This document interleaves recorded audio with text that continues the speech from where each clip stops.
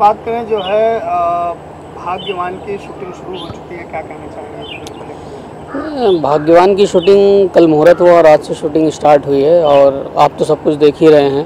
काफ़ी इंटरव्यू भी आपने किया और बहुत अच्छी शूटिंग चल रही है। भागवान फ़िल्म से मुझे बहुत उम्मीद है एज ए राइटर किस तरह से स्टोरी है कुछ बताना चाहेंगे या कुछ मैसेज या इंटरटेनिंग क्या? है स्टोरी एक ऐसी कहानी है जो गाँव में अक्सर हमारे देखा जाता है और कोई कुछ अलग करने जब जाता है तो उसको लोग सताते हैं उसको मज़ाक उड़ाते हैं उसी पे कहानी। क्योंकि अभी मैं कहानी अगर पूरी बता दूँगा तो लीक हो जाएगी। इस कहानी के लिए कितना आपको रिसर्च करना पड़ा था? कि काफ़ी टिपिकल इसका जैसे टाइटल है कहानी जैसे सुना नहीं इस कहानी के लिए रिसर्च में की जैसे हमने काफ़ी जो उम्रदराज लोग थे उनसे उन चीज़ों के बारे में पूछा है जो कॉन्सेप्ट के हिसाब से। क्योंकि आज की जनरेशन शायद नहीं बता पाती तो जो सत्तर पचहत्तर जो मतलब पचास साल के ऊपर हमसे हमने पूछा तो काफ़ी मदद मिली है मुझे स्टोरी लोकेशन में आप वैसे जो है सत्तर साल पुराना घर यूज़ कर रहे हैं। तो हमारी कहानी कुछ ऐसी है क्योंकि आज यूपी बिहार जो हमारी भोजपुरी संस्कृत है लगभग जो गाँव होता है वो नहीं दिख रहा है। हर जगह शहर की तरह घर बन गए हैं और दो दो माले तीन तीन माले। बट जो हमारी संस्कृत है कपड़े खप, खपड़े का घर वो हम कोशिश कर रहे हैं इस फ़िल्म में दिखाने की कि हमारा जो इस पहले का जो हमारा घर होता था वो खपड़े का लुक अलग आता था और आज लुप्त होते जा रहा है खपड़े का घर। स्टार कास्ट की बात की जाए राघव पांडे जी सुप्ती राव जी पहली बार आए थे हीरो हीरोइन जोड़ी प्लेयर कर रहे हैं क्या? स्टार कास्ट की बात की जाए तो सुरती राव राघव पांडे की जोड़ी काफ़ी अच्छी लग रही है जो आपने भी देखा और मैं भी देख रहा हूँ। पहली बार काम कर रहे हैं लोग। बाकी दर्शकों के ऊपर है कितनी अच्छी है और कितनी अच्छी नहीं रहेगी। क्या संदेश देना चाहिए इस फ़िल्म के माध्यम से दर्शकों को? दर्शकों को इस फ़िल्म के माध्यम से एक ही संदेश जाएगा कि हर इंसान को जीने का हक है और उसको जीना चाहिए और लोगों को सताना नहीं चाहिए। और किसी तरह भी क्योंकि हर इंसान के अंदर कुछ ना कुछ कमी होती है क्योंकि जो ऊपर वाले ने लिखा है वही होगा। लेकिन कुछ लोग हमारे समाज में ऐसे हैं जो उस चीज़ों को काट के उनको लगता है कि ये गलत है गलत है लेकिन गलत कुछ भी नहीं। और फ़िल्म के निर्माता निर्देशक हाँ, प्रोड्यूसर तो भाई जैसे हैं हमारे बड़े और छोटा भाई हमें मानते हैं वो। हर जगह अपना प्यार आशीर्वाद देते रहते हैं। और डायरेक्टर संजय श्रीवास्तव भी भैया हैं हमारे बड़े और मैं भी उनके साथ ही मेरी दूसरी फ़िल्म है जो मैं इससे पहले हमने सैया हमारा धनवान बा किया है। उसके बाद भाग्यवान कर रहा हूँ और एक दो फ़िल्में और लाइनअप है उनके साथ आगे भी काम करेंगे। और एज ए राइटर कौन कौन फ़िल्म आपकी आने वाली है? एज अ राइटर तो मेरी अभी भाग्यवान शूट चल रहा है आयुष्मान बहुत पंद्रह अक्टूबर से चलेगा। उसके बाद मेरी एक फ़िल्म है धमाल जो कानपुर के डायरेक्टर प्रोड्यूसर हैं। इसके अलावा एक दो फ़िल्में और हैं जो भी टाइटल एक सोना बाबू फ़िल्म कर रहा हूँ मैं जो शायद जनवरी या फरवरी में शूट होगी। ज़्यादातर करके जो है आपकी फ़िल्मों का पृष्ठभूमि क्या होता है आधार क्या होता है जो आप लिखते हैं?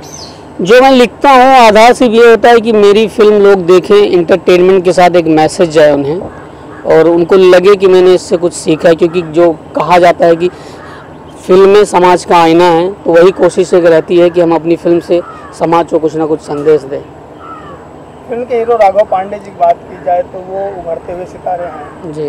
क्या कहना चाहेंगे उनका फ्यूचर आप कहाँ देखते हैं और आपकी लेखनी से कितना बड़ा उनको पॉपुलैरिटी मिलने वाली है? देखिए हम हम हमेशा नहीं कह सकते कि हमारी लेखनी से ही वो उनको पॉपुलर होंगे बट हमारी बहुत अच्छे दोस्त हैं हमारे वो तो हमारी कोशिश रहती है कि वो उनके लिए मैं बेस्ट से बेस्ट दूँ अच्छा से अच्छा करूँ। बाकी फ़िल्म लाइन एक ऐसी लाइन है जहाँ पे लक चलता है। अगर आपका लक चल गया तो आप फिट हैं नहीं चला तो आप कितनी भी मेहनत करें नहीं चला। तो आप अपने ऊपर लक को कितना मानते हैं? सर अभी तक तो हमारा लकी चल रहा है लकी के थ्रू मैं काम कर रहा हूँ। बस ये है कि चाहता हूँ कि थोड़ा भोजपुरी के दो चार बड़े स्टारों के साथ काम करने के बाद थोड़ा सा संतुष्टि मिलेगी। अभी फ़िलहाल संतुष्ट नहीं है एज राइटर खलीलाबाद में जो प्रोडक्शन हाउस खुला है जिसके तहत कंटिन्यू बन रही हैं। जी। बंटी बाबा जी उभरते हुए खलनायक हैं क्या कहना चाहेंगे बंटी बाबा बाबा मोशन फिल्म्स का जो भी उन लोगों की सोच है कि साल में हम छः फ़िल्में बनाएँगे जिसमें अभी ये फ़िल्म कंप्लीट होने के बाद उनकी फरवरी की दो फ़िल्मों की प्लानिंग प्री प्रोडक्शन शुरू हो जाएगा। और बंटी बाबा उभरते हुए कलाकार हैं उनके फेस से जो स्क्रीनिंग फेस है उससे लगता है कि वो आगे जाकर भोजपुरी में कहीं ना कहीं अपना नाम दर्ज कराएँ। दर्शकों से क्या कहना ऑडियंस क्या कहना चाहिए ऑडियंस से यही कहना चाहेंगे कि जिस तरह हर फ़िल्मों का अपना प्यार आशीर्वाद देते हैं हमारी भी फ़िल्मों का प्यार आशीर्वाद दें। और भाग्यवान आयुष्मान भाव करके खास करके अगर सिनेमा घरों में जब भी रिलीज़ होगी तो आप उसे ज़रूर देखें क्योंकि आपको कुछ ना कुछ सीखने को मिलेगा। धन्यवाद। हाँ। ये बात कीजिए बाबा मोशन फिल्म्स बैनर रखा गया है और ये उस बैनर पर पहली फ़िल्म बन रही है। नए कंसेप्ट साथ। तो उस बैनर नहीं नहीं फ़िल्म तो शायद तीसरी है ये। दो फ़िल्में उन्होंने बनाई और गैंग्स ऑफ़ गोरखपुर और धनवान। सेम है सेम टीम है। मैं इनके साथ पहली बार काम कर रहा हूँ इस फ़िल्म में और मेरे लिए बहुत एक्साइटमेंट की बात है कि इस प्रोडक्शन हाउस में जो कि रेगुलर फ़िल्में बना रहा है। तो ये भोजपुरी के लिए और हम सब के लिए बड़ी अच्छी बात है। खलीलाबाद बारे में क्या कहना जहाँ पे शूटिंग चल रही है बहुत अच्छी जगह है बहुत पॉजिटिव जगह है और बहुत अच्छे लोग हैं यहाँ। सपोर्टिव लोग हैं। और मुझे लगता है कि मैं पब्लिक की वजह से कोई डिस्टरबेंस मुझे इस एरिया में कभी नहीं दिखा। और वैसे तो मैं खुद यूपी का हूँ तो मुझे अपने गर्व है उत्तर प्रदेश में कि हमारे उत्तर प्रदेश में आप आएँगे और अच्छे से शूटिंग करके जाएँगे। इसमें माननीय मुख्यमंत्री जी का भी बहुत बड़ा सहयोग है कि वो फ़िल्म वालों को फ़िल्म को पसंद करते हैं। इसलिए भी शायद यहाँ बहुत आसान हो रहा है और बहुत सुविधाएँ मिल रही हैं। और खलीलाबाद में मैं बहुत पहले आया था खेसारी जी के साथ एक फ़िल्म करने दबंग आशिक मंजुल ठाकुर डायरेक्टर थे। आ, उसके बाद मैंने विजयी बाबा और दो तीन फ़िल्में और मैं कर चुका हूँ खलीलाबाद में।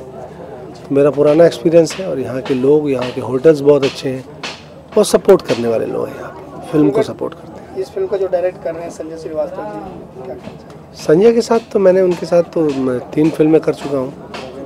पहले इसके पहले एक फ़िल्म मैंने आजमगढ़ में की थी दहशत, उसके बाद की थी एक्शन राजा, फिर गेस्ट अपीयरेंस किया था कसम कसम पैदा करने वाले की।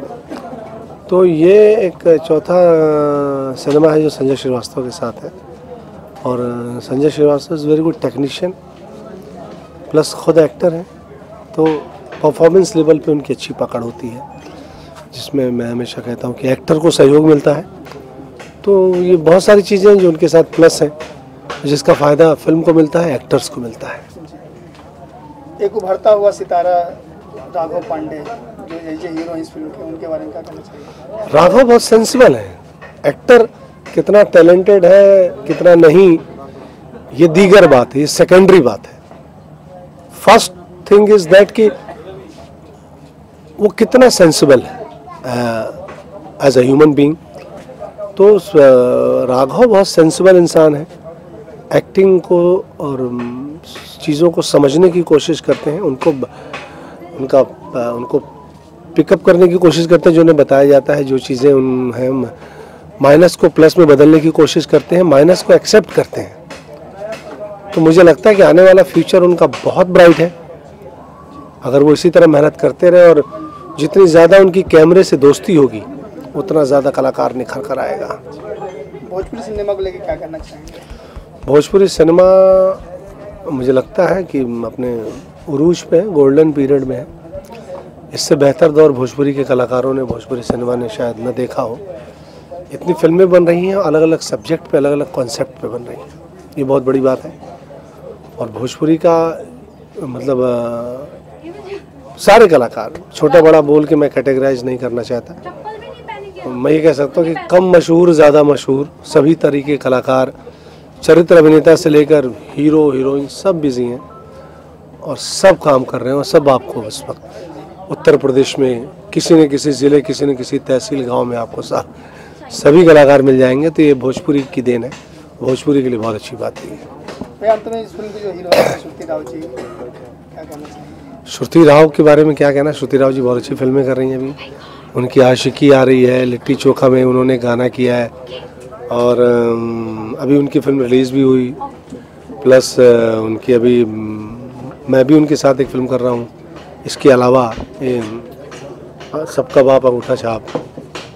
तो बहुत अच्छे प्रोजेक्ट्स हैं उनके पास और मेहनती हैं वो काफ़ी।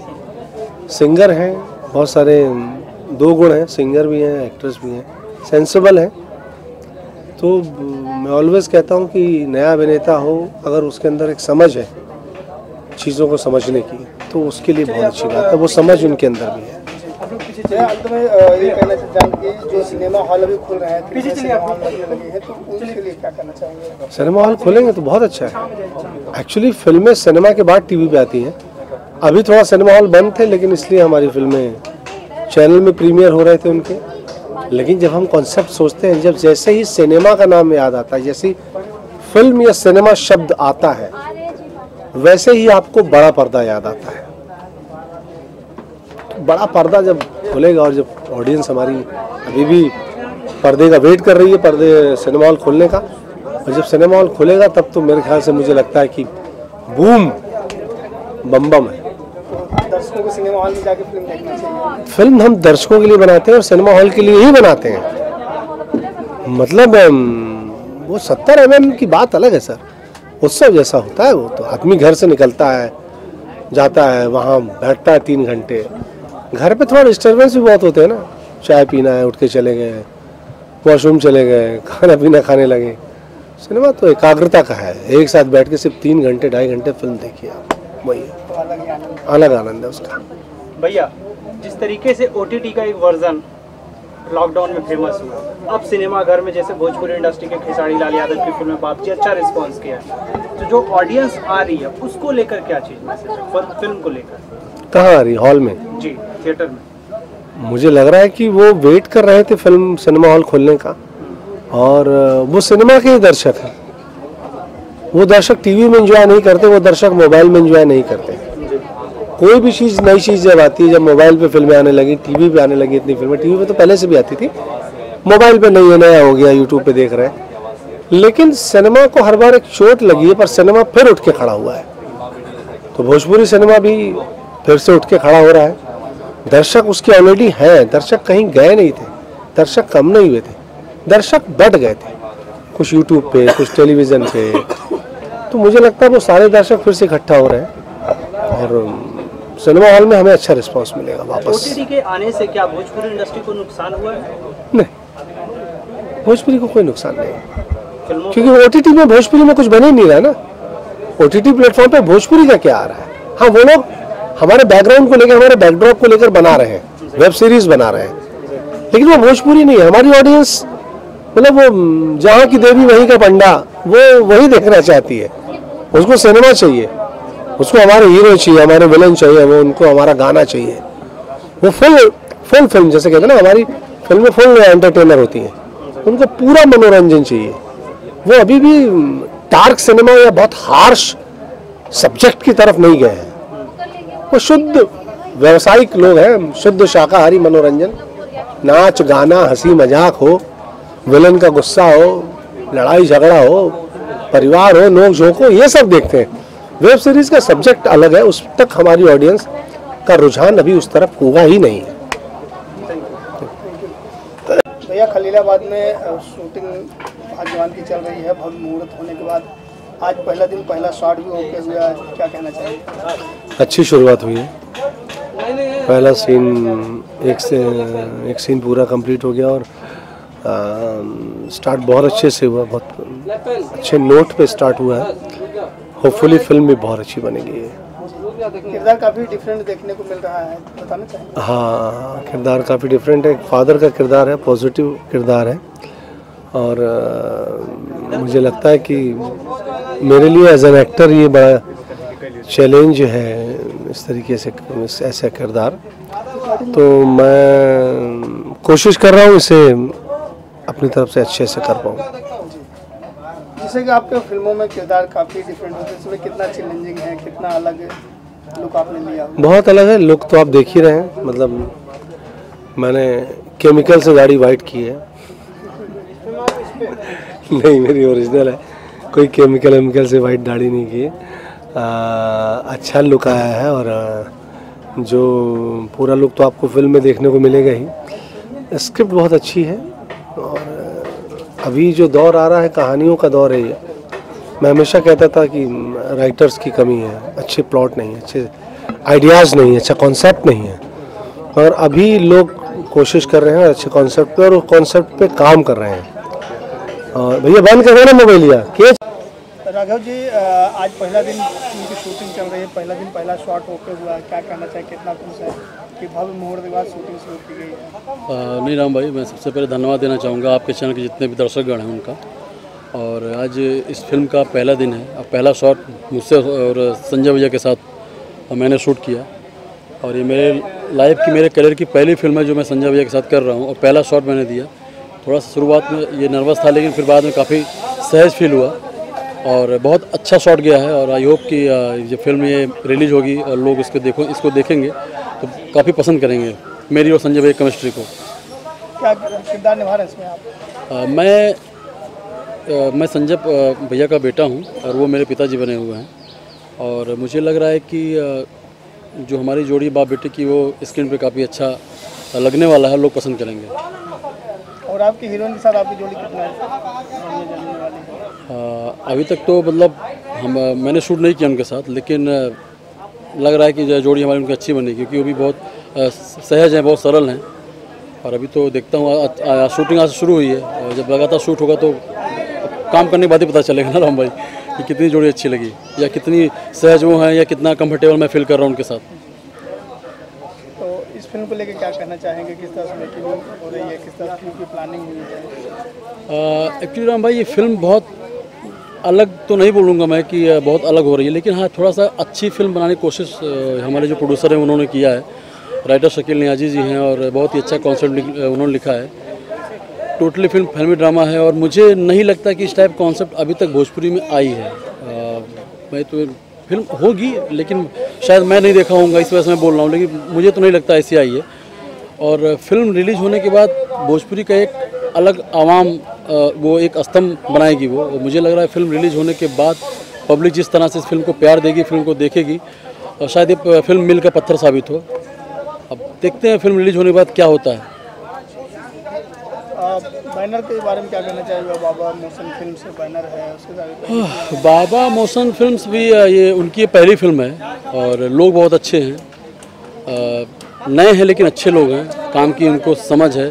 स्टोरी की परख है। जिस तरह से उन्होंने टीम बनाया है राइटर शकील न्याजी जी हैं डायरेक्टर संजय श्रीवास्तव जी हैं, जो हमारे स्टार कास्ट हैं, मैं हूँ, श्रुति जी हैं संजय पांडे जी हैं, विनोद मिश्रा जी हैं, सोनिया मिश्रा जी हैं। तो मिला जुला के अगर इतनी अच्छी सूझबूझ के साथ वो फ़िल्म बना रहे हैं तो ज़ाहिर सी बात उन्हें फ़िल्म के बारे में काफ़ी कुछ पता होगा, या उन्होंने किया होगा।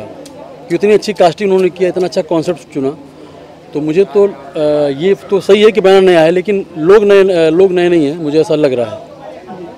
संजय श्रीवास्तव जी जो डायरेक्टर हैं उनके साथ पहले भी आप फ़िल्म कर चुके हैं। जी जी। क्या कहना देखिए संजय श्रीवास्तव जी के साथ में ये मेरी दूसरी फ़िल्म है और जब पहली फ़िल्म मैंने किया था थोड़ा सा मुझे लगा था कि सर थोड़ा बहुत रूड होंगे लेकिन नहीं बहुत ही इजी गोइंग डायरेक्टर हैं वो। आर्टिस्ट को किस तरीके से अपने सांचे में ढालना है किस तरीके से उसको मोटिवेट कर काम कराना अगर आर्टिस्ट नर्वस होता तो बहुत ही अच्छे से वो उसको हैंडल करते हैं। और मुझे काम करके बहुत मज़ा आया और मुझे लग रहा है कि आगे भी हम लोग साथ काम करेंगे ही।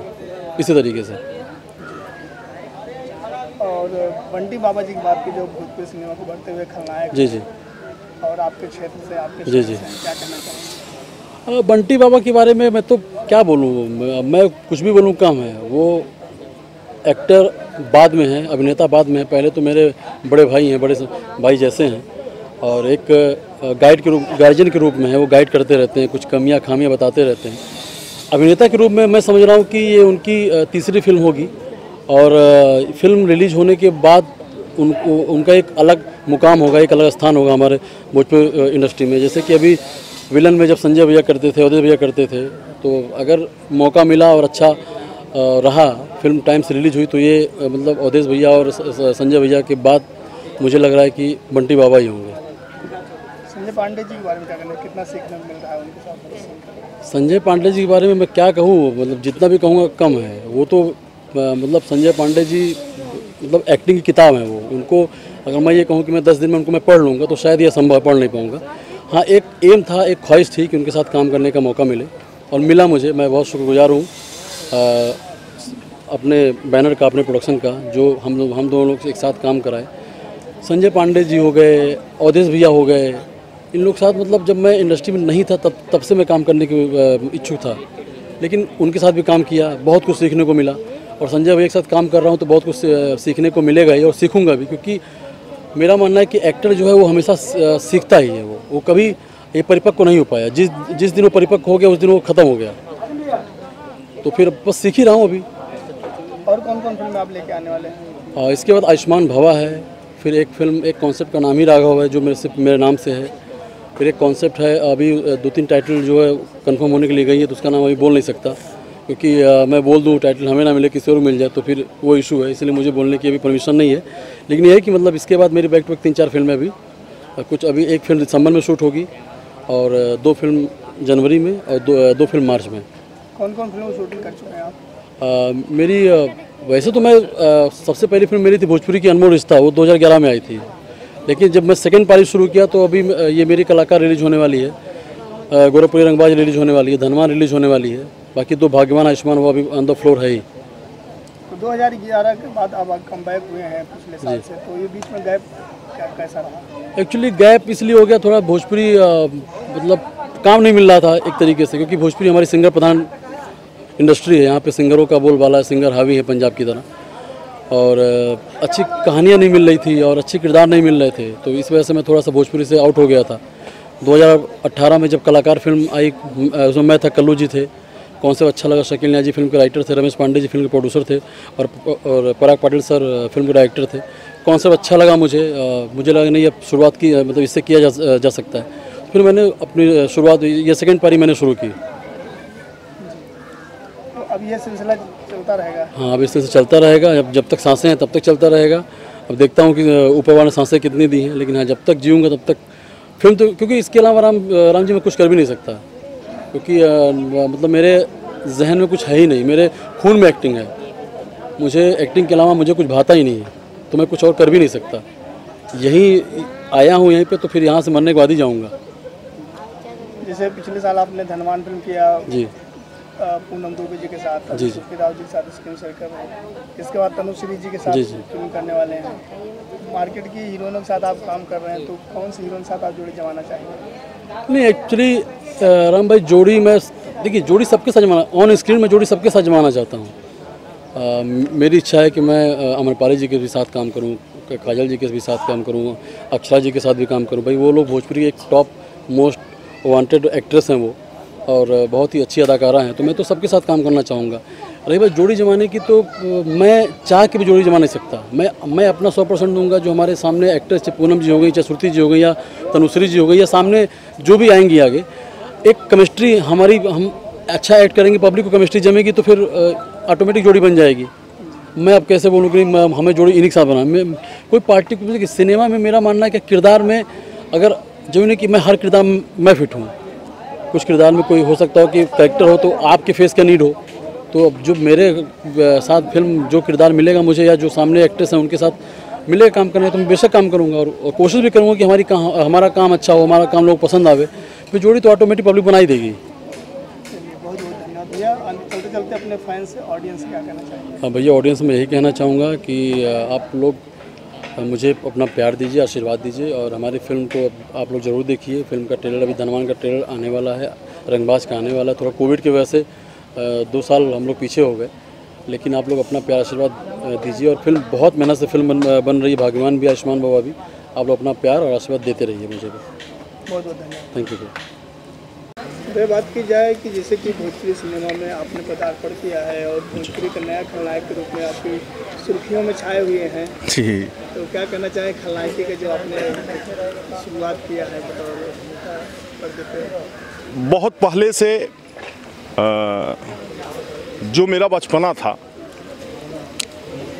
चूँकि मैं ऐसे परिवार से बिलोंग करता हूँ जहाँ संस्कार और संस्कृत। ये सब चीज़ें मुझे धरोहर के रूप में मिली है।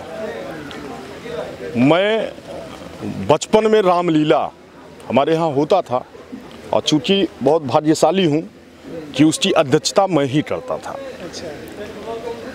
तो उसमें बहुत ऐसे किरदार थे, जैसे हनुमान जी और परशुराम जी, बाद में फिर रावण मतलब जो किरदार था सबको पसंद आता था लेकिन जो रावण का किरदार था निगेटिव था वो लोगों को कुछ ज़्यादा ही पसंद आई। तो ऐसे ही अ, समय आया और राघव पांडे जी शकील नियाजी साहब राघवेंद्र पांडे जी सभी लोग मिले और मेरे सामने पहली फ़िल्म गोरखपुरिया रनबाज में उन्होंने एक निगेटिव किरदार बताया और मुझे काम करने में मज़ा आया। अवधेश मिश्रा जी थे उस फ़िल्म में।